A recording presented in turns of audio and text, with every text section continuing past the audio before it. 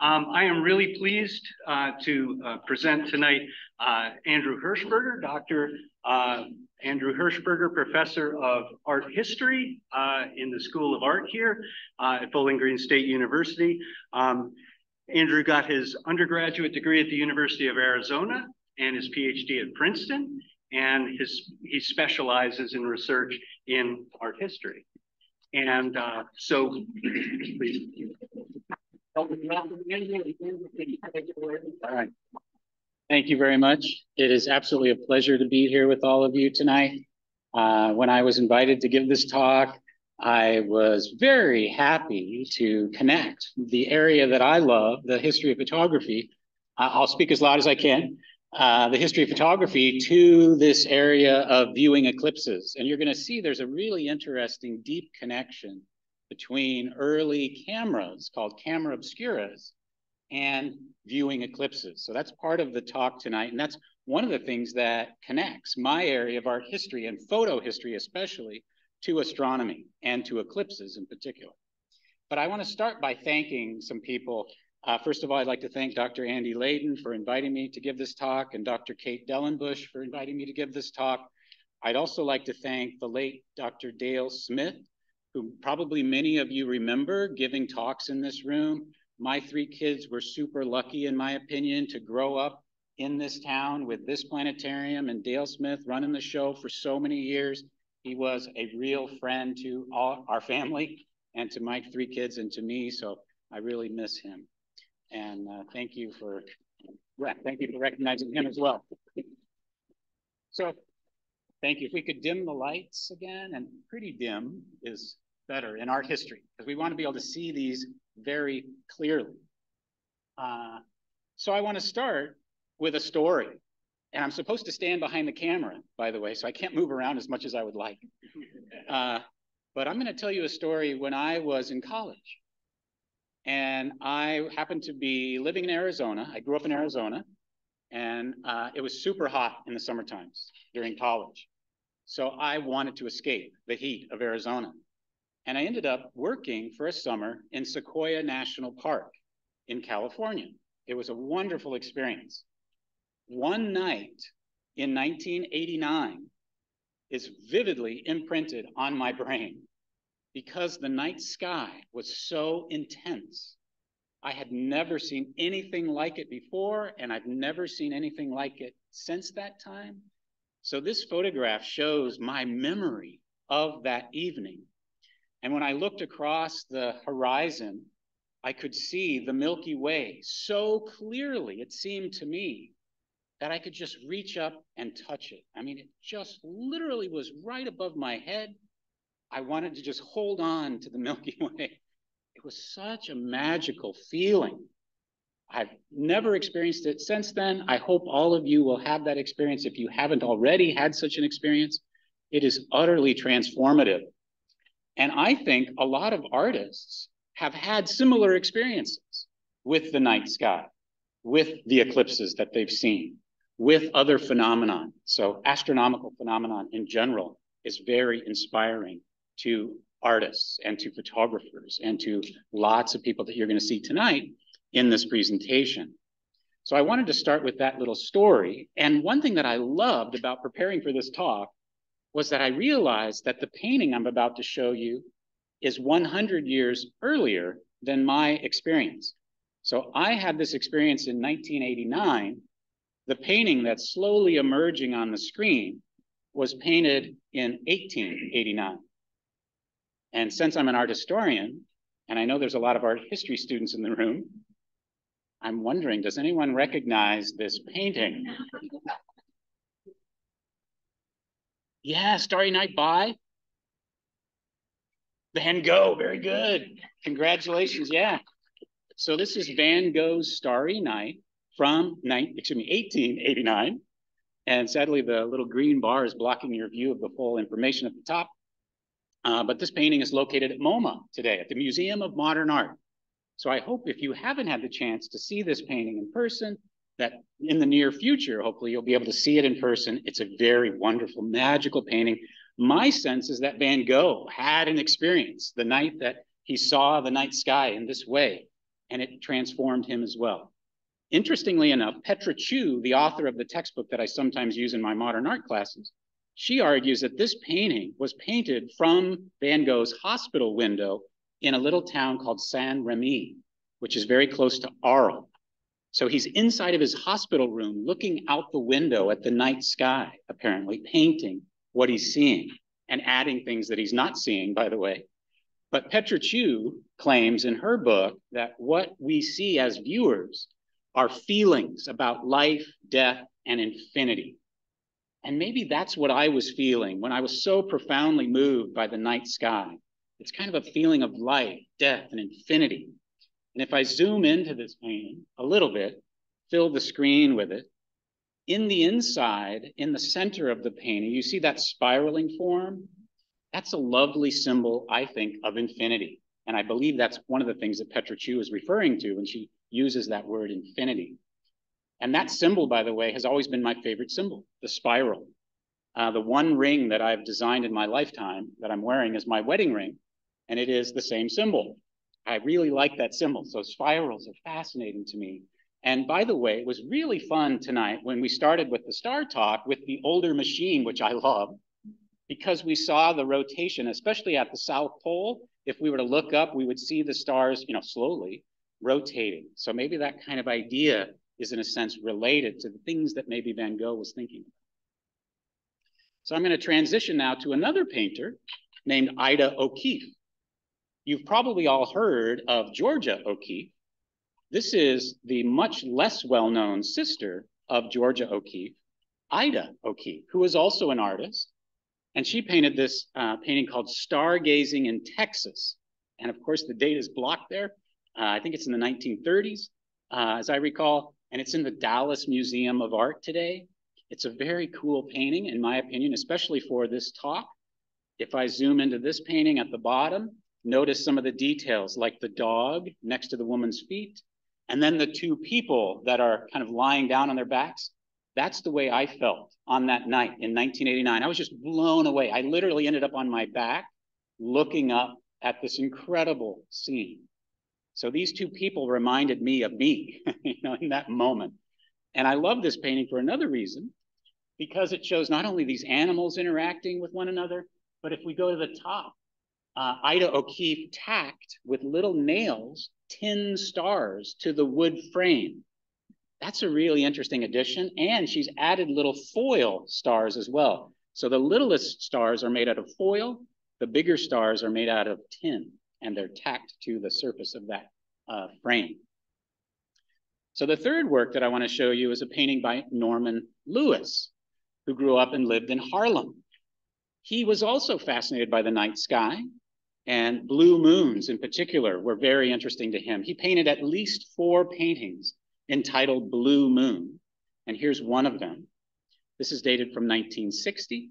And the Swan Gallery in New York has written about this work. And they say what we're seeing here are images of nocturnal subjects, like the second full moon of any month is a blue moon.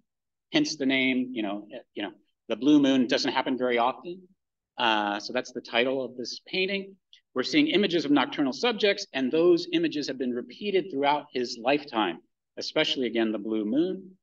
MoMA has also written about Norman Lewis, and they claim that he was inspired by the writings and works of art by Vasily Kandinsky, one of the artists I'm going to show you later, who painted a really cool abstract work of eclipses. So I'm going to show you that later today. Let me zoom into the top of this one first, and hopefully you can see, I think this is the moon, it might be reflected in water. That's a possibility. Maybe it's reflected in the Harlem River, uh, which is nearby to the area that he's living in and working in. If I scroll up, you know, maybe this moon is up in the sky, though not reflected in water, because there's a an indication, I think, of another body of water coming into view in a moment at the bottom of this particular composition. Here's part of that um, reason why I think this is a body of water. If I scroll all the way to the bottom and turn around, here's potentially a horizon line. And it does strike me that abstract artists and representational artists are often inspired by natural phenomena, like astronomy phenomena, like the moon, like the stars. and eclipses. The next artist is not a painter, but a sculptor uh, that I'm going to talk about briefly. This is Alexander Calder's work. And if you know Calder's work, he often would suspend his sculptures from the ceiling.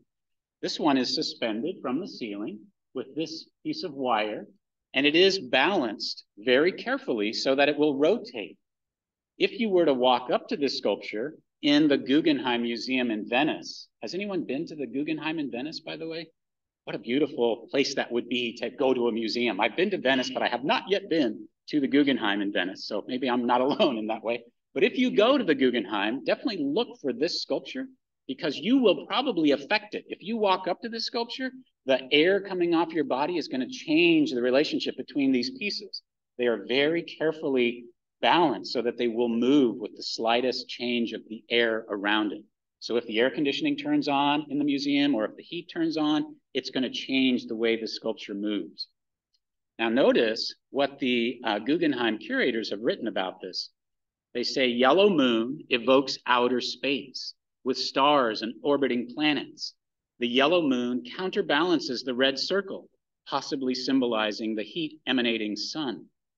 And then they quote Alexander Calder himself as saying, I felt there was no better model for me to choose than the universe. So clearly, this artist is very much inspired by the astronomical phenomenon or phenomena that we are studying tonight. And uh, in this case, we've got the moon and the sun represented in this otherwise abstract sculpture.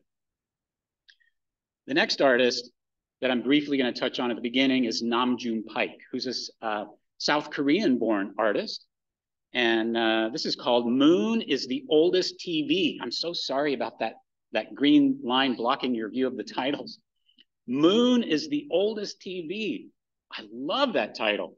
That title reminds me of how powerful maybe the moon is. Like many of us probably stare at the television for a long time every day. So we're kind of fixated on this image, this image that changes over time. And maybe Moon was like that for earlier, you know, pre-television eras. Uh, so June Paik is a television artist, by the way. He's got 12 different televisions lined up on pedestals here, and it looks like they're showing images of the moon. And before I started researching for this talk, I thought they were videos of the moon. He often uses videos in his sculptures. But the Pompidou Center in Paris, which is a really cool museum to visit if you have the chance, uh, notice what their curators say. By adding a magnet to the cathode ray tube, Paik scrambles the electronic signal, transforming it from point to circle, semicircle, etc., so as to associate these manipulated images with the lunar cycle. So I can't help but smile that what he's doing here is he's using a magnet. Let me show you a photograph of him. Here's Paik with a large magnet on top of a television that's been designed just to show a point on the screen. And then if you put a magnet on top of it and turn that magnet, you can tune the point into a circle, into a semicircle, into a crescent, and so on. So he's kind of recreating the phases of the moon with this really interesting technique of tuning it with a magnet.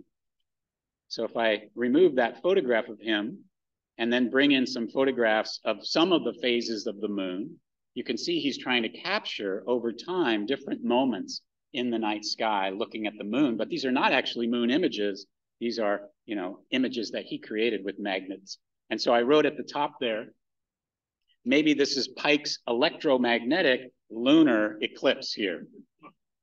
And again, I highly encourage you to look up Pike, really interesting artist. So we're going to transition now into eclipses. So this is our first maybe lunar eclipse, so to speak. And now I'm going to transition into solar eclipses. And I want to remind you, as I mentioned at the very beginning, that since ancient times, hello, thank you very much for coming. Thank you. Uh, delighted to see you. Uh, since ancient times, solar eclipses were often first safely viewed via the camera obscura. And I mentioned cameras earlier. The word camera, by the way, means room. I love that. Many people don't know that in my experience. The word camera means room. The first cameras were room sized. You could walk inside of the first cameras and you could see the image projected on a wall inside this room that you are physically standing in. And in ancient times, people recognized that, oh, these rooms are really helpful for me to view the solar eclipse without damaging my eyes because the sun is so incredibly bright. So this phenomenon that I'm going to show you is very well known, going all the way back to ancient times. And the word obscura, by the way, camera obscura, obscura means dark. So a room that is dark or a dark room, cameras, camera obscuras were the first photographic, in a sense, photographic cameras are based on the camera obscura is what I'm trying to say. And uh, here's an early drawing of a camera obscura. It's by a Dutch scientist named Reinerius Gemma-Frisius, whose dates are being blocked, but he was born in the 1500s. And this is called Illustration of a Camera Obscura Observing a Solar Eclipse on January 24th, 1544. That's 480 years ago. Gemma Frisius, again, was a, a uh, Dutch uh, scientist, a physician, and a mathematician. He's viewing the eclipse in Belgium at this time. And he's making this drawing of how he viewed it. So here is the sun, excuse me, the sun is behind the moon. This is the moon, the dark uh, face. The moon has eyes and a nose and a mouth. Yeah, like we all see, of course. And the sun is being blocked by the moon. So this is the moment almost of totality. Uh, and notice how the sun is peeking out at the top. And if you have a camera obscura, a dark room, the reason why there are images inside of it is because hopefully you have a small hole in one wall. You can do this at home, by the way. You don't need any technology. You don't need a lens. You just need a dark room with one little opening allowing light inside the room from outside you will see whatever's outside projected inside your dark room, projected upside down and reversed left to right. So we can see the top of the sun here, this crescent goes in through the hole in the wall and ends up on the bottom. Hence, everything high up in the sky is projected on the ground inside the camera obscura. Everything low outside is projected up on the ceiling. And I have to tell a story, by the way, about a camera obscura that happily Clayton, who was in the room, helped me to create and uh, did a lot of work on. So thank you very much, Clayton. Uh, and uh, one of my former students, named Maria Postal Postlethwaite, when she was a grad student here, she walked inside the camera obscura that, that Clayton uh, worked on and that I was using for my history of photography classes. And she saw the image of students walking outside the School of Art they were just walking to their next class, but they were walking on the ceiling. They're projected on the ceiling. It's an absolutely magical moment. And Maria Postlethwaite just blurted out, Oh my God, I'm so happy. and that to me is exactly how I feel when I'm inside a camera obscura. I see some nods here. Yeah, it is a magical experience. If you haven't been inside of a camera obscura, I highly recommend it. It is very exciting, really interesting. Uh, so this is a well-known phenomenon going all the way back to the ancient world, and it's still super interesting in my opinion. I'm going to put some text at the bottom, and notice what one of the experts on camera obscura says. Uh, this expert's name is Wenczel. In 2007, Wenczel wrote, the oldest employment of the camera obscura, dating back to antiquity, was for astronomical purposes, for safely observing phenomena connected with the sun, in particular solar eclipses. And this drawing Wenczel is writing about, it is the first published illustration of a camera obscura. So this is one of the earliest, maybe the earliest published image of this phenomenon called a camera obscura being used to observe solar eclipses. Now I want to jump ahead in the timeline and show you a more recent photographer named Abelardo Morell really cool photographer. Born in Cuba in 1948, Abelardo Morell almost came to BGSU. We almost got him to come as a visiting speaker once. Hopefully we can. Uh, he makes really interesting photographs, in my opinion. This one shows him setting up a box camera. And astronomers do this, by the way. If you look up uh, how to safely view the solar eclipse, you're going to see a lot of illustrations kind of like this. But this is a very simple cardboard box and he's got a very bright light bulb. You do not need a lens, but he likes clearer images. The lens will make the image clearer, but you don't need a lens. You just need a small hole in the box. And you will see whatever's bright outside projected inside the box, upside down, and reverse left to right. It's a very interesting phenomenon. And I've written at the top there that camera obscuras, pinhole cameras, and eyes all work in a similar manner. So all of us have an image that's upside down and reverse left to right in the backs of our eyes. Our brains are processing this so that they can flip it upside, right side up and correct it left to right and then combine these two images. So our brains are doing a lot of work for us that we're not aware of. It's a very interesting thing to think about. If I zoom into this, you can see maybe this a little more clearly. Again, he added a lens here. This is very likely a four by five camera lens, so a very clear lens. And he's added it to this very low tech box uh, to create that very sharp image of the light bulb. If I scroll up here, we can see the entire composition. So he's clearly fascinated by this phenomenon that is well known in the history of photography, certainly, because it's the beginnings of the photographic camera. All right, so I'm just going to compare the Gemma Frisius drawing at the top to remind you that this is the same phenomenon. So viewing a bright object like the sun being eclipsed by the moon shows up upside down inside the camera obscura, and it's the same thing happening here with the light bulb photograph from 1991. So I'm going to compare that to another photograph that is not astronomical, but I want to encourage you, again, to build a camera obscura. I have to tell you another story. Once I gave a talk kind of like this inside the public library in Bowling Green. It was for the children's reading room, where my three kids also had a wonderful time growing up, just like they did with Dale Smith in this room. And uh, we made a camera obscura inside the children's reading room. And it was so fun because during the time that we were viewing the parking lot outside those, those uh, areas where the stories are read, a big white van pulled up right in front of the public library. So this big white van just covered the ceiling of that room, and all the kids just screamed out, ah! it was so exciting to me.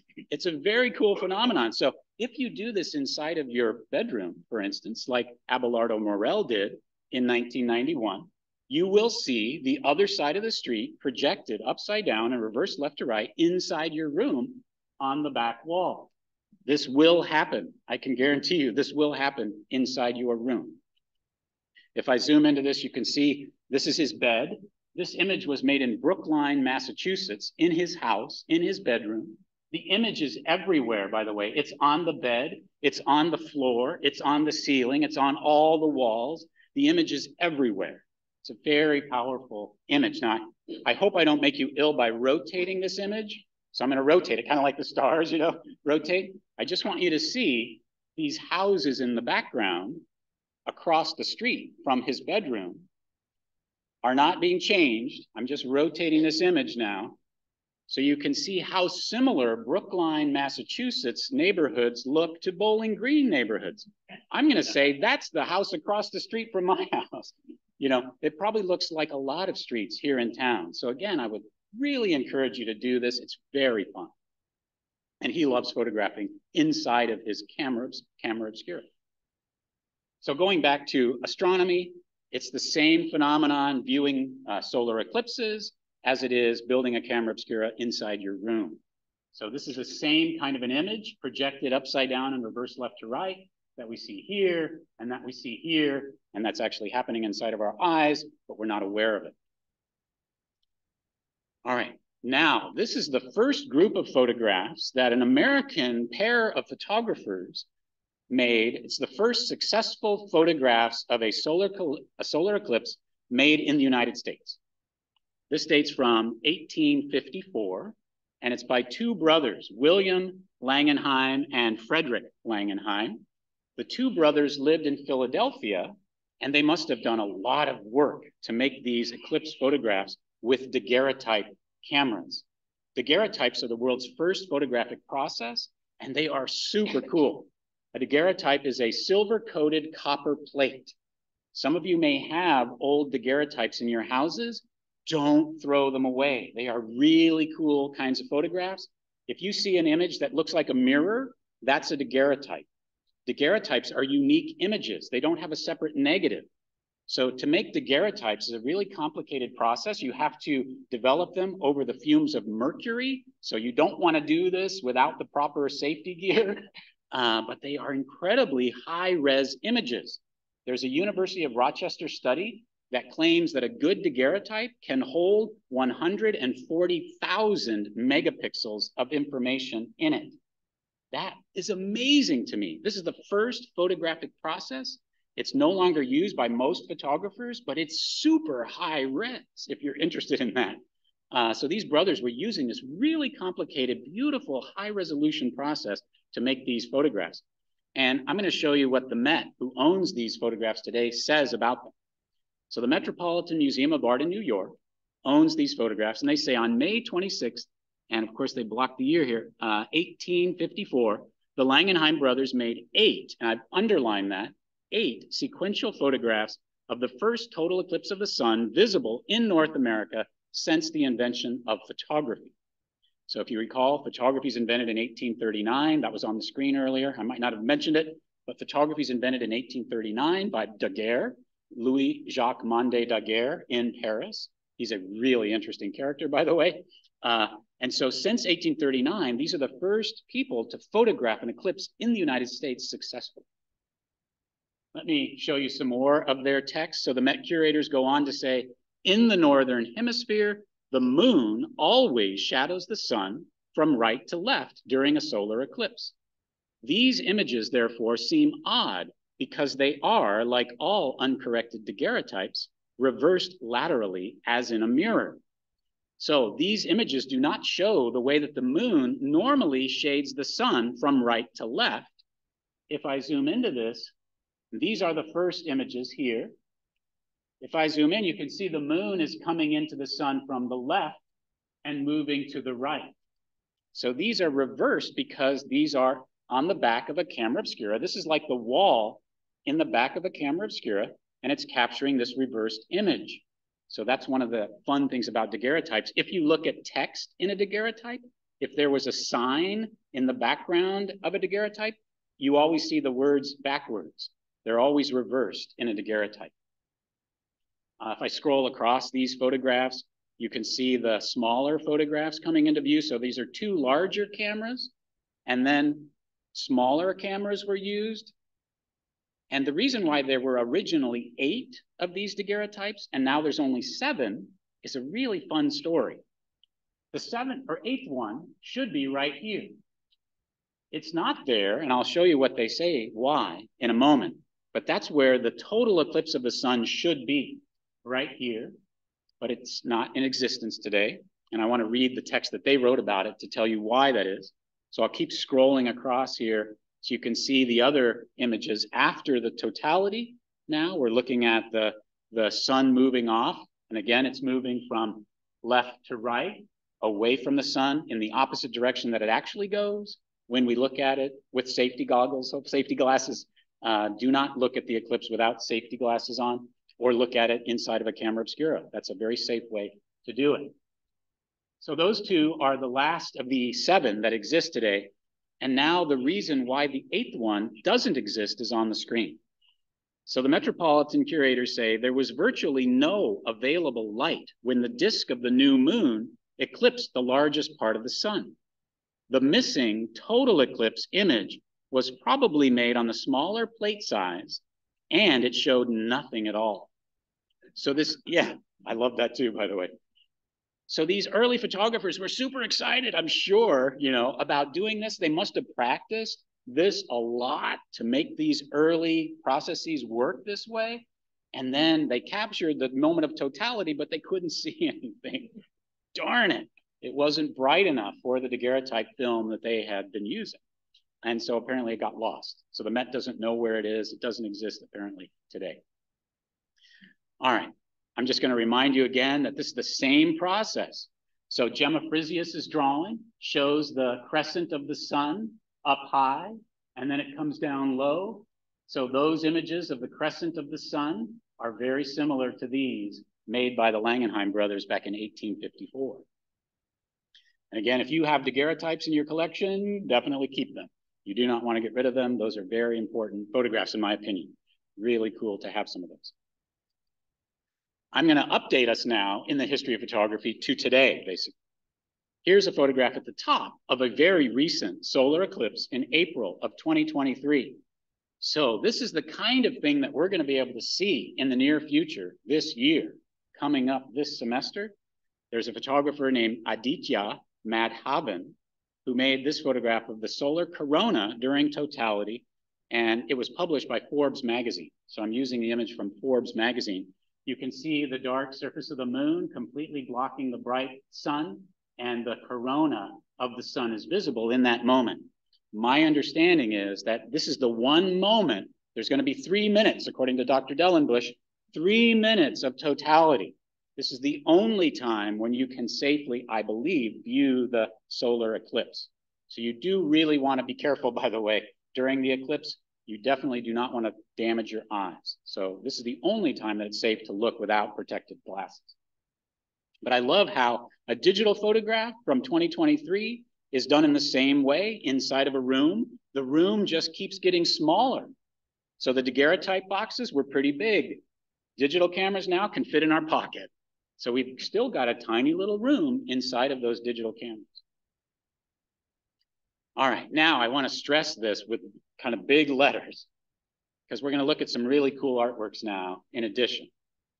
So everyday things that we all might take for granted namely the sun and the moon, become utterly surreal during an eclipse because we're suddenly reminded of how awesome they truly are. And one thing that I loved about getting invited to give this talk is I walked around the astronomy area more than I have in the recent past. And they have some wonderful displays right outside here. And if you read the text about the effect of the solar eclipse, there's a the first female hired by the Naval Observatory, and I have her name in my notes, but I can't remember it right now. She wrote the statement that's quoted outside on the, on the poster. And it says, the effect of the solar eclipse in the moment of totality is awesome to the, uh, what's the words that she uses? It's awesome to the max, basically, is what she's saying. She has a more beautiful way of saying it than I can remember. But it's just the most awesome thing she could ever imagine. It's awesome to the extreme. There it is awesome to the extreme. So if you're ready to see something that's awesome to the extreme, one thing that came to my mind is this next painting. And it may not be awesome to the extreme to you, but it is to me. This painting I did not know was an eclipse painting. This is done by a surrealist. So I chose the word surreal, you know, intentionally a moment ago. Here's Max Ernst, born in Germany. He's both a Dadaist. He starts the Cologne Dada movement and again, if you're interested in learning about art history, uh, I can't tell you about all the different movements today, uh, but Dadaism is one of the most unusual movements. Really interesting ideas come out of the Dadaists. So Max Ernst is both a Dadaist and he then becomes a card-carrying surrealist. By 1925, he had officially joined the surrealists. I didn't know that this was a solar eclipse until I started researching for this talk. And I'm going to say this is a, an eclipse image let me show you why. I learned that there are particular kinds of eclipses called ring of fire eclipses, where the moon is closer to us. And so the sun is only partially blocked during the moment of totality. And you get a ring like this around the edge of the moon. I have never seen this in my life. Maybe some of you have seen it. I'm going to say this looks incredibly interesting, like fascinating to the extreme to me. Might be frightening even to see a ring in the sky like that. But I believe that this is the inspiration for Max Ernst's series of paintings like the one I just showed you. I'm going to put a map down here at the bottom now, if I can get it to show up. Here it comes. And this shows where the annular, these are called ring of fire eclipses or annular eclipses. And there was one recently uh, it started over here in, in, well, you could see it in the United States, over here in Oregon first, and in extreme North uh, uh, California. And then it went across the state of Nevada and uh, Utah, a little bit of my home state of Arizona, and then into New Mexico. My brother lives right in the center of New Mexico. He probably saw the annular eclipse. uh, and then down into Texas and out into the Gulf of Mexico. And then if we follow the path coming up on April 8th, that's why we're here today, is to be reminded of April 8th. That's the date that we all need to pay attention to uh, coming up. And it's going to go from uh, Texas again up into Ohio. Here we are in Bowling Green, Ohio, in Northwest Ohio. So happily, we're going to have three minutes of that totality. It won't be a ring of fire eclipse. It's going to be a total eclipse. And that's going to be a really fascinating moment for us. I've never seen a total eclipse of the sun myself, and maybe I'm not alone. So I'm really looking forward to this. But I also want to see one of these ring of fire eclipses someday. Let me bring back the uh, Max Ernst painting. So to me, this painting is so much more interesting now. It was always interesting to me. Like, what is that ring in the sky? Now I have a reference point for maybe he was inspired. I'm going to say he was inspired by Ring of Fire eclipses. And one of the reasons why I think this is going to come up on the screen now. I found four of these paintings. So probably that means there are lots more of them. And if you were wondering, like, what is this ring in the sky? Notice the title of this one, Forest and Sun. So that to me cements the idea that he has seen a ring of fire eclipse, and he's very likely repeating this image over and over because it was so intensely interesting to him as an artist, like it would be to me, uh, I'm sure. So Max Ernst is one of the most interesting artists, I think, to study in relation to ring of fire eclipses. I want to show you now another uh, earlier artist named Marc Chagall. I teach the modern art history classes, so a lot of these um, uh, paintings and sculptures you're going to see are related to my area of research and teaching. Uh, Marc Chagall is known as a magical realist. So uh, Max Ernst was a, a surrealist. Uh, now we're in an earlier period that inspires the surrealists called magical realism. The title here is I and the Village of 1911. This painting is also at the Museum of Modern Art today. And the Hunter book that I sometimes use claims that it was based on memories of his native village in Belarus. So he's thinking about his childhood, and he must have seen an eclipse, apparently. MoMA goes on to say that the large circular forms suggest the orbiting sun and moon in eclipse at the lower left. So I'm going to zoom into the top, and then we'll scroll down to the bottom, and we can see the eclipse one thing that I love about this painting is that it shows Marc Chagall's fascination with upside down images. Here are two houses that are upside down, and there's a person who's upside down. That suggests to me that he knows about camera obscuras. And he's putting these upside down images right next to eyes. Here's a human eye, and it's connected to this animal's eye. So the same upside down images that are in the backs of our eyes that we're not aware of because our brains flip them right side up and all of that, are still there on the backs of our eyes. So I think he's showing us, in a way, his knowledge of that camera obscura phenomenon. If I scroll up, I can show you more of this painting close up. The Sam Hunter book that I use sometimes also argues that this cow is actually the main subject of the painting. The cow is dreaming the rest of the composition, according to Sam Hunter. Really interesting thought. Again, this is a magical realist who's imagining maybe the dream of a cow. If we scroll up further here, we can start to see the moon coming into the view, and this larger circle is the sun. So the moon is just starting to um, eclipse the sun in this particular painting, according to MoMA. So magical realism is, is another phase of art history that's very interesting. I'm going to quickly now move to constructivism. So a lot of isms in modern art history, by the way, as you may know. Constructivists like Vasily Kandinsky, Kandinsky is one of the first abstract artists. Uh, some people say he was the first abstract artist. Uh, this particular work is called Composition 8. And of course, the date is blocked it's 1920 something, as I recall. Uh, and it's in the Guggenheim collection today, also in New York. The Guggenheim, like the Met and like MoMA, have fabulous collections, as you can imagine. The Mansfield book that I use sometimes publishes this, and the Guggenheim curators note that in, night, oh yeah, it's 1923. That's the date of the painting. In 1922, uh, Vasily Kandinsky was hired at the Bauhaus. If you know about the history of architecture, the Bauhaus is one of the most important groups of artists and architects inspire a huge number of later artists and architects. So Kandinsky is teaching in a hotbed of innovative thinking when he makes this painting. They also argue that this painting shows us colors and forms and their psychological and spiritual effects.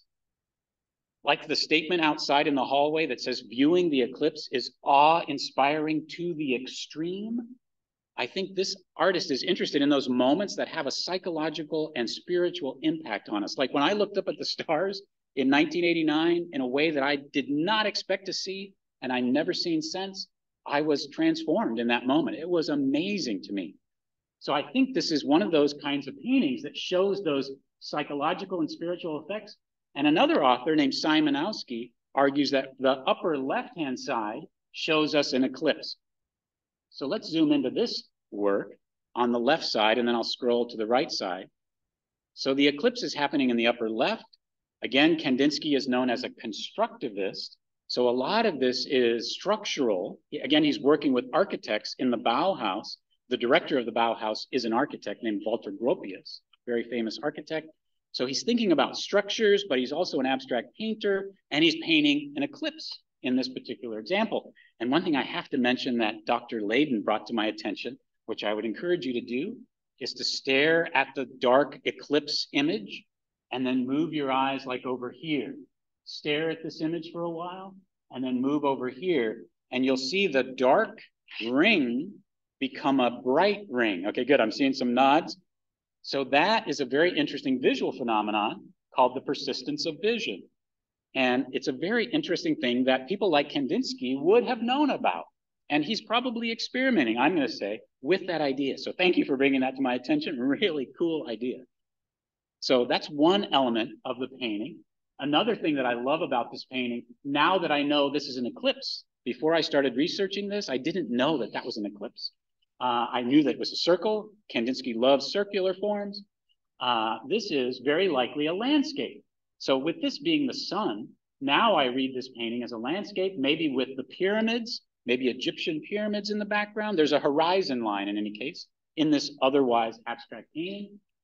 If we scroll across to the right, another thing that I learned, I love learning from other folks. So Dr. Layden again looked at this presentation in advance and he noticed that this is almost like a direction for us. It's almost like that spiral in Van Gogh's paintings that is a reference to infinity.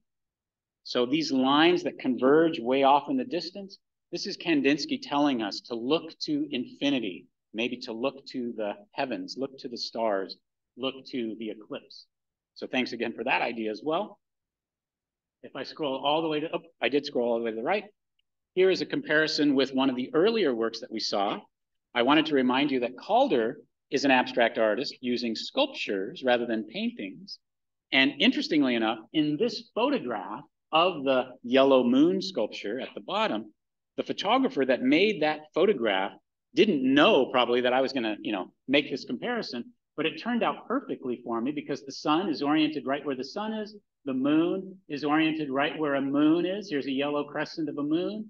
So we have interesting formal relationships here but again, the sculpture at the bottom keeps changing all the time. So I wanted and I tried to find a GIF, an animated photograph of that sculpture, but I could not find one. What I did find, though, is a pretty high quality animated GIF of another sculpture that is mounted to the ground by Calder. So here's a Calder sculpture in an animated way. This shows you the same motions that are going to happen with this sculpture and they're very smooth, very, you know, unless there's a, a lot of wind in the room, it's going to be very slow, transformative kind of changes over time. So that gives you a sense of what looking at the sculpture in person is like. All right, maybe this is my favorite painting in the group. Uh, this is by Alma Thomas. Uh, she grew up in Washington, D.C., but she was born in Georgia. And she saw an eclipse in 1970 and it was very impressive to her. This work is now in the Smithsonian American Art Museum in Washington, D.C., a fabulous free art museum. So I highly recommend you go to Washington, D.C. Lots of the museums there are free. Hopefully this will be on display for you. The Smithsonian curators have written that this artist combines gestural abstraction and color field painting. That means that she's an abstract expressionist. So we've looked at surrealism, we've looked at magical realism, we've looked at constructivism, and now we're looking at abstract expressionism. All of these are important movements in modern art history. Notice what they go on to say, that Thomas's abiding sources of inspiration were nature, the cosmos, and music.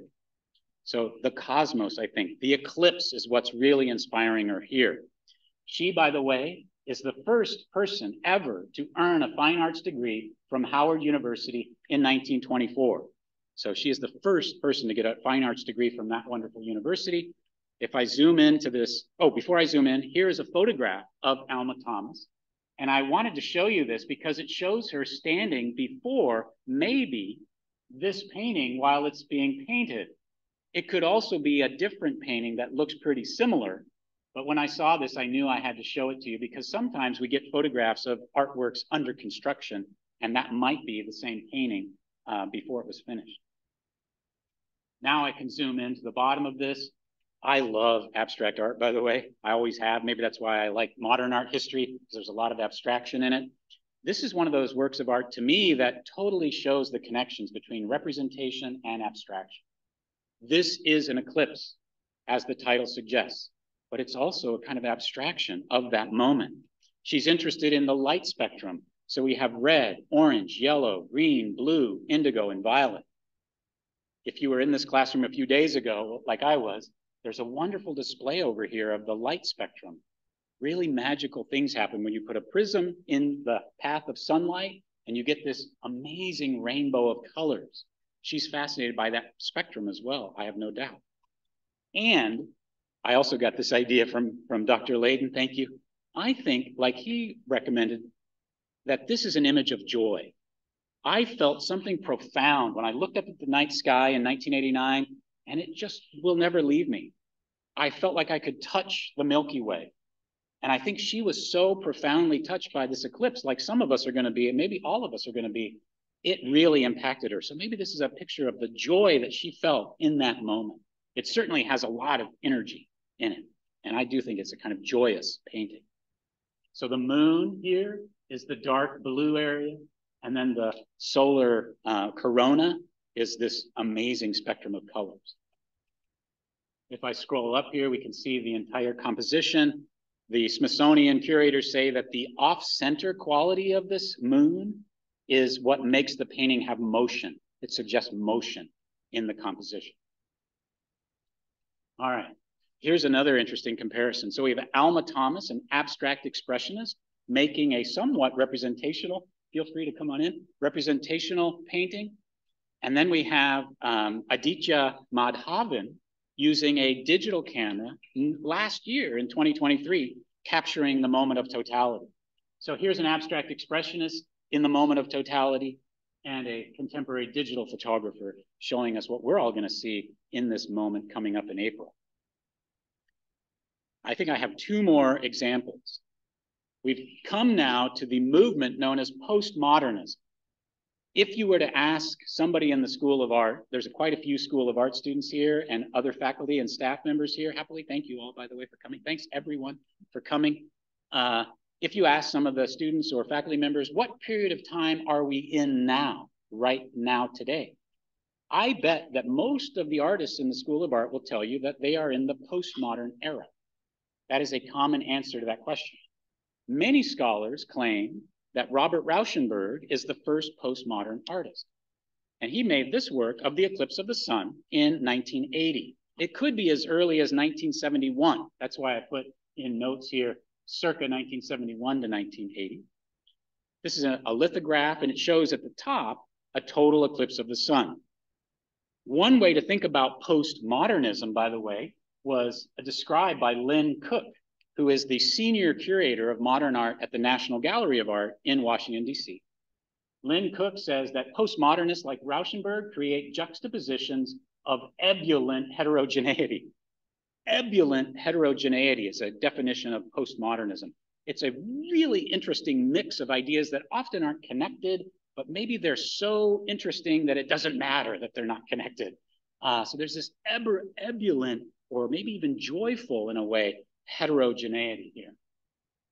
If I zoom into the top of this print, we can see more clearly that uh, solar eclipse in the moment of totality. Notice the references to abstract expressionism. So here's a nod to people like Alma Thomas, color field painting, as it's called as well. Here's a photograph, I think, embedded in the print of a flower. If I scroll up here, here are some more photographic images that he printed into this image uh, of people walking on a street. Here's some more people riding in a raft on a river. We have three bighorn mountain sheep, like you would see maybe in Glacier National Park. Really cool place to visit again. Probably the night sky is going to be amazing in Glacier, like it was in Sequoia for me. So this artist brings together a lot of things that maybe don't fit together in the kind of normal way of thinking, but that's a typical thought process in postmodernism. So we're bringing things together and it's a kind of ebullient heterogeneity. One of the students that saw this earlier brought to my attention a very interesting point that the two sailboats at the bottom uh, are a particular kind of sailboat. And I'm not a sailor, but those sails, according to that student who knows a lot about sailboats, echo the forms of the crescent moon or the crescent sun during an eclipse. That's a really interesting thought. So maybe Rauschenberg intended that connection that that student saw. So by the way, I love to hear questions and, and your thoughts. I'm getting close to the end. So if you see things that I haven't mentioned that you would like to share, like my students know, I'd love to hear from you. Uh, so please ask questions. Here's the last comparison, and I'll show you one more image. I wanted to bring back Marc Chagall, who again is the magical realist of the group that I showed tonight. Uh, Marc Chagall includes animals experiencing this solar eclipse. And I can't help but think that maybe Robert Rauschenberg is also wondering about the impact of the solar eclipse on animals. That's one topic that I would also love to learn more about too. Uh, so I'm looking forward to continuing to research, you know, the impact of eclipses. Let me also show you the final slide now. My, my, uh, I'm going to call him my friend. I've never met him. I almost met him. He was supposed to come to BGSU, but it fell through. Abelardo Morell, a photographer that I highly recommend you look up. Really interesting photographs. Here's what happens during a solar eclipse on the ground. So I want you to look up with safety glasses, but I also want you to look down. During the recent partial solar eclipse, which is maybe five years ago or something like that, 10 years ago, maybe time flies around here. But on campus, I saw a partial eclipse of the sun. And one of my favorite moments was just looking underneath trees. I see some nods. It is utterly magical to look at the image of the sun. This is the crescent sun projected over and over again, thousands of times on the ground underneath trees. What's happening is all the leaves are creating little apertures and they're like a camera obscura, but the sun is so bright that you don't need a dark room. So these little apertures create images of the sun all over the ground. So definitely look at that. It's happening every day as well, but we don't recognize it as very interesting because all of these things are round and we're used to that. But that is also an image of the sun projected on the ground. We only notice it when it's happening during an eclipse because it's so odd to see that crescent form repeated hundreds of times. It's very cool. So look up, but don't forget to look down as well. All right, that's the end of my presentation. Again, I would love to hear your questions uh, if you have any. Thank you very much for coming.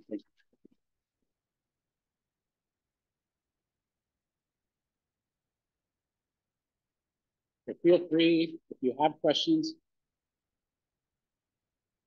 often my students teach me things that I did not know. This happens every day, actually, and I love learning. That's why I love teaching. So if you have ideas that you would like to share or questions you have, I would love to hear them. Yes, thank you.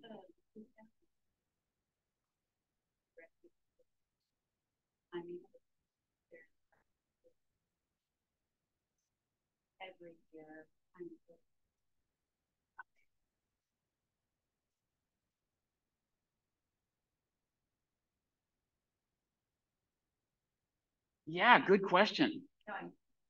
Oh, you're telling me. Okay, yeah, good. what an interesting thing. So animals get used to the pattern of the cycles. Is that what you're saying?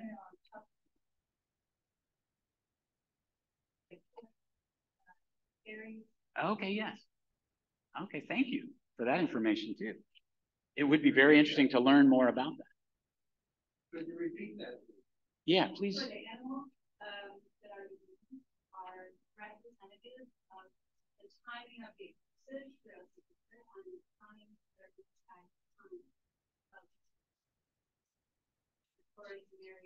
every year this happens in time.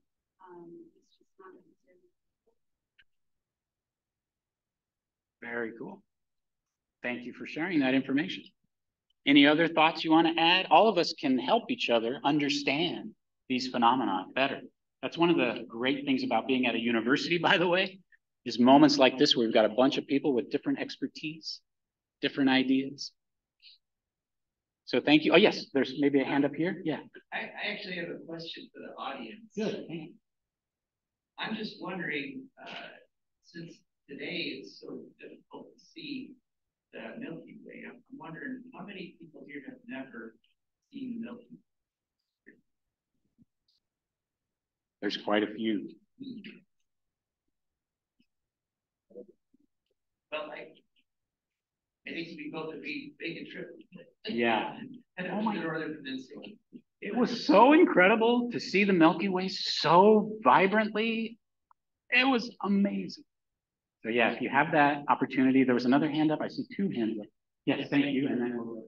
yeah. Oh, so sort of jumped out to me with that Max Ernst painting. Yes. Gray forest. Great forest. So I went down to Hopkinsville, Kentucky to see the total eclipse of twenty seventeen. Good. And, um, something that's very noticeable about it is the color of everything, the sky and just everything takes on this like very uncanny greenish gray pallor to it. And in that painting, I think you're absolutely right, that that's what he was depicting, because that's a very good representation. It's something you don't see any other time, but, like, pay attention to the colors when the, when the like that. So it's something. Thank you for bringing that to my attention. I did not think about that, but yeah, that's very likely the case. It is. Thank you very much for sharing that. Yes. Deepak. Actually, so Ohio, I think, Okay, Resources? they are, uh, the eye counting of the animal during the. Oh, good. They want some of it. Okay, yeah. I look forward to learning what you learned in that moment. Thank you. Yes. The Blue Zoo is having an eclipse party there that what animals with eclipse. Oh, good. so the animals, how they react to it. Oh, how interesting. That would be maybe the ideal viewing spot. I mean, I mean, we're gonna have a great spot here, by the way. They only get about a minute, so. Okay, yeah. Totality. so Minute of we're- we're totality. Yeah. So, well, yeah, that would be a cool place. You would not only look at the leaves, you know, I mean, the images of the sun on the ground, but you could look at the animals and look at the eclipse. Yeah, hope you're able to do that. Thank you for sharing that too. Any other questions or ideas you want to share? Well, I want, yes. Um, we can tell you that the best place that we've seen the Milky Way is the north rim of the Grand Canyon. Oh, yeah, okay. Cause that's a total dark sky. And, um, it's just every night you see it. Okay, yeah. I have been to the Grand Canyon happily, but I did not see the same intensity that I saw that one night in Sequoia, but I can imagine it probably happens there as well. It does happen. I'm glad you got to see that. I hope everyone gets to see that. Yes. I'll add to that, uh, a little closer to the home, uh, in, in Michigan, uh, near the thumb is a dark sky site. Uh, it's, it's protected, uh, and it's a good place to go see the Milky Way. So, uh, especially in the summer, it's a great place to go. Thank you for pointing that out. Either way, thank you for all these great points and great questions. Uh, I want to thank you for coming again tonight, and I appreciate learning with you about eclipses and the history of art. Uh, feel free to keep in touch with me. My email is on the screen. I would love to hear from any of you. If you're interested to keep in touch, please do. Uh, thank you again for coming, and have a wonderful night. Thank you.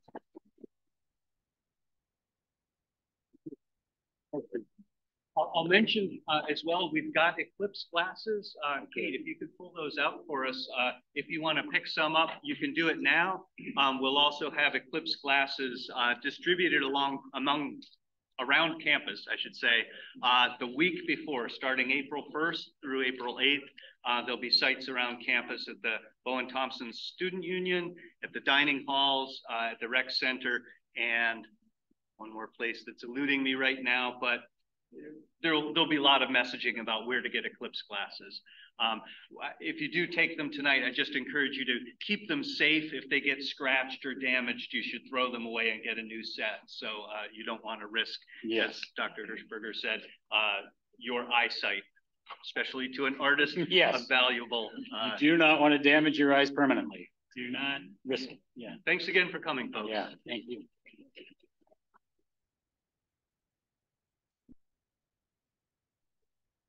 Good. I, I really enjoyed your talk. You know, you just, I don't know. if you changed the talk. I just learned more every time.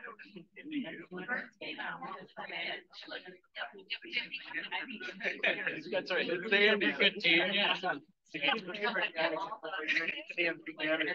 Here we are.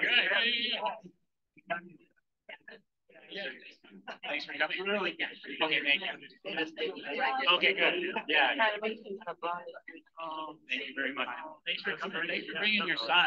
Oh my gosh, you gotta watch your head around. Yeah. Yeah, I know. I'm a little worried about this spot, but it's a good spot. Thank you. Thanks for coming. Good to see you. man. It was very interesting. I mean, You know, it was an imperfect picture. Yeah. And yes, it's kind of like in the area.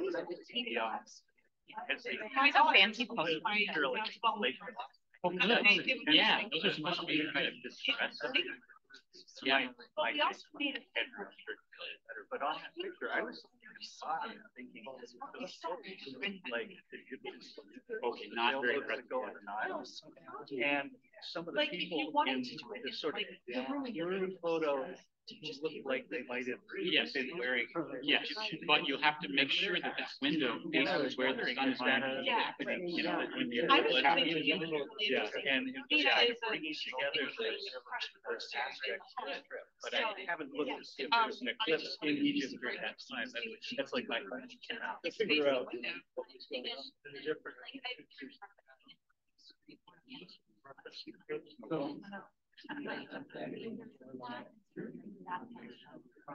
I, I know the, the beautiful spectrum one. Nineteen seventy, it was a total solar eclipse that went up the east coast of Washington DC. had that. Uh, so we could- I grew up in Connecticut. Find out, and thinking that somebody like Andy has to be able to See see which way- the idea, nothing about that window. I remember it about- Five? Where Or you have? be in- Okay. That's what you need to find out. Almost positive one of you you saw saw that eclipse. Oh my gosh, yeah, that would be a brilliant experience. My mind. People watching. People, Right. watching people in cars drive by. and just- I never, I never thought of a larger space, I would, I would see like in the shot. Yeah. So that would be so. Oh, yeah, it's Thank you so magic. much. Yeah, have fun. Thank you very much. Yeah. Oh, I'm sure you will. Yeah. Thank you. I'm already Great. All right, good. Great to see you. That was so wonderful. I enjoyed that so much, Yeah, thank you so much for sharing that. Oh, yeah, we should catch up on that. Yeah, it's just to do the three. Oh, okay, yeah. And Yeah, I yeah. remember. I missed the March seventh. Right. Like, Were you able so to, to look and read about it? it. And we didn't have totality. Were you able to do any of that reading that, uh, I did look at it. Okay. It's, If you haven't, talked- Yeah. yeah, right, we can talk about it sometime, or we can do it by email, whatever works for you. I'm, I'm finding that Thank you so much. But I didn't put it down, so. Good. Okay, yeah. My life Definitely look getting Yeah. more Um, complicated as Thank you. the eclipse approaches, spending more and more time every day on the type of things. Um, but after the eclipse happens. Yeah, I know. Yeah, yeah. I would tell you when I was in college, I made my side of thinking room. it's- Okay, you Are- have the right idea. Are there gonna be a Yes. specific like event on campus during the eclipse where like there's like a specific like like you or uh, a person instructing and narrating? Yeah, Okay, so, yeah, Thank you for. Yeah. uh, yeah, Okay, so yeah, thank you. on eclipse day, uh, at the stadium, uh, starting at about noon, we'll open the gates and we'll have uh, images on the big screen. Thank you, Provost Whitehead. uh, Thank you. From our telescopes, I hope on the roof of this you. building. Thank um, you so if much. it's I want to clear, take your class if now. Please do. from I love the past fact that you love our history. I Yeah. do. I So we'll be able to watch the eclipse. We'll Yeah. have people talking about the eclipse. explains the Uh, world. Well, it kind of What does. does at at times, Yeah, sometimes. uh, Provost But then I hear be, uh, physics explains. Yeah, we words, all I'll be compete, I fine. guess. Someone, Yeah. Uh, We're gonna, more important, Well, have lots of perspective, yeah, activities both going Right. on. So Yeah, we can along help one of each the other. sidelines, you're gonna have was so about cool 20 standing here and tables practice I with, love with these Dr. things. Dellenbusch and Dr. Layden because right? they were seeing things that I wasn't seeing, and just like some happened tonight, like the gentleman who brought up, gonna have oh yeah, the Max Ernst painting is the the right kind of colors during an eclipse. So, Maybe you know uh, that, I don't know that. So yeah, Three, the four, additional five hours of perspectives the is eclipse from first And then contact of the on the right? sun. We all get Oh, to, first we all kind of. Um, Pitch in Yeah, together. we'll have fun. things going on It to keep people I was entertained. talking to Andy. educated. in We'll have telescopes on the ground. slides Oh, you good. looked through With the, uh, Um, picture of the. so. I'm Yeah. hoping that we just have small object. At the Yeah. Good weather. good weather, mostly, um, You know. and, and. No, I know. The theory, Uh, okay, I don't know what that is. perfect. Yeah, I'm with still theory. encouraging I can people back to up come. there, back All up. those Yeah. activities will be- I thought There's that even was gonna a- be bouncy houses Make sure I and, touch uh, the right and button here. Mini golf and Degradation. stuff like that. out Maybe the I can back up. field. So. The arrows, do they Did you jump right up and say, I'll do a talk on this? listen Could you, did you have an Here. interest or Uh, do you I'm just not- have an interest in all? Uh, I have an interest for It's sure. it's a- Yeah, it's let me be- go. Yeah, that little object I there. think bring in, I do not uh, know what that is. uh, is. It's like a little- Okay. At the top, yeah. hole in there. Yeah. We're not, um. It looks like it's an alien ship. Yeah. Yeah. Yeah, good question. Excellent question. Yeah, I do not know. This is, uh, let's see, Before and after that. nineteen eighty, according to the private placement owns the ground. Okay. Yeah, oh, I already got that. Yeah. Good. But it's Yeah. a little The big. scale isn't right, am I right? I jerry Yeah, we'll Yeah. talk to it. our business Yeah, that'll be too big. Yeah, it'll be a pretty scary. Yeah, yeah, yeah. Well, one of the aliens. Thank you. Yeah, Exactly. We understand. Yeah, I how look forward to that. Uh, do you, if I have a more specific question, is there anyone that I should like email or contact? Have you originated, Yeah, I wanna- photograph that, yeah. Photograph that Yeah. of- Yeah, it is a good term, yeah. The way we hear, but. I feel like the, it's, uh, uh, Are you like the directory? I am. Full So, standby Thank you very much. security. Thank you for coming. I'm- Uh, So my name is. It was my pleasure. By the way, And the yeah, Dr. series. And Dr. Layden, yeah, they did a lot of work. So it worked out. Good. A at the end is my email address. You know what I First one I was able to work into the schedule. Thank you so much for. No, no, no. Great. Yeah, Okay, thank thank you. Yeah. Feel free to shoot me an email or. Fun for or oh me. phone me, whatever. Glad to be doing it. There's a laser fire coming, ball of fire coming down. Yes. They can make it, yeah, we have no. We're in trouble. Yeah. Absolutely. Yeah, going underneath your desk, it turns out really isn't really any good. Thank you. This has been wonderful. I'm Glad you enjoyed it. Thank you so much. It must have been a lot of work to put all this together and It's been a I lot wish I work, hadn't but been it's able been to. a joy, you know, just bringing together people like Andrew and uh, we had, uh, last week, uh, I'm sure if Well, it's, we have quite a I guess few. Colin is a professor something What's like that? in music, 12 Colin. is a No, professor. Colin just graduated. Just graduated, Graduated. I have around ten. Um, bachelor's. Uh, But he gave a classes I have fantastic couple talk Yeah, about uh, There's a lot to do. And planetariums and the music that yeah. planetariums have used historically. That's interesting. And he's, it's, it's his research field. He's No been to the, the Adler Planetarium in Chicago and researched their records to, to, Figure out what music they use. yeah, and, and sort of, he, he talked really eloquently. I mean, Yeah, he was. more he eloquently was than I can speak. Yeah, and he's just applying to grad schools now, so. Yeah, Oh, good for him. Uh, in high about the school, history and in how it's Arizona, changed my- from high classical school music. It must be Mhm. high Mhm. art, right, Had a to be in a huge- planetarium. Like the one. To sort of more electronic music and, and spacey what sounding music and things like that. Um, and so, Yeah. he Now it's probably particularly- rap I or know. some. I didn't know that it was- well, and then there was the laser show at it. era in the Uh-huh. nineteen seventies and eighties, right, for planetariums. Yeah, it's still and Pink kind of a Floyd. thing, yeah. Yeah, He gave me the Well, we were noticing the So I could go acoustics there in here and too and how Anytime. so nice because I you can had hear so everybody's much fun questions so creating easily. that space. Yeah. It's never left Yeah, we had, uh, Studying the Precepta and, uh, actually music moment. research group that Colin, I think, co-started when he was a student, um, gave a performance here, and there was a original piece by, I think it's probably a graduate student, um, who composed it. Uh-huh. And cool. so, first time, it was meant for That's planetarium, exciting. and this was So the first like, time it was actually done wow, in the it's like it's planetarium. World premiere and And, uh, the best planetarium, that's and, pretty uh, cool. yeah, I think we're gonna have the early music ensemble in here in a couple of weeks as well, so. It'd be fun to sing in here. What are they performing? Um, some, I don't know the full program, but some Herschel, uh, Herschel discovered Uranus, but also, so he's an astronomer, Yep, but he's also a composer, and his father was as well. Uh, So. Real did one of, Renaissance uh, folks, huh? Yeah. Piece by Herschel, Yeah. and I'm not sure what else. Dr. Spore has. uh, Fun. plans. That's next Yeah. week? Uh, Ernie's gonna. yeah, He's- so he's- we're still, I think we're gonna do that on the twenty-seventh, that's not part of the lecture Mm. series. but, Oh, um, okay.